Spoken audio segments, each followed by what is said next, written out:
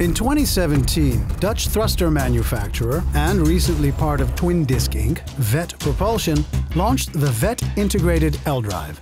The drive is based on essential principles such as space, efficiency, and noise, with the advantage that it can be fitted into various types of vessels.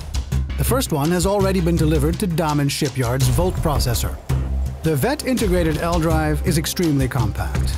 This is because the PM motor is integrated in the slewing bearing combined with a special mounting method, the alignment of the headsets, and the adjustments to the control box. The difference in height between the traditional L-Drive and the integrated L-Drive can be up to 2.8 meters. The Veth integrated L-Drive is constructed using proven mechanical components.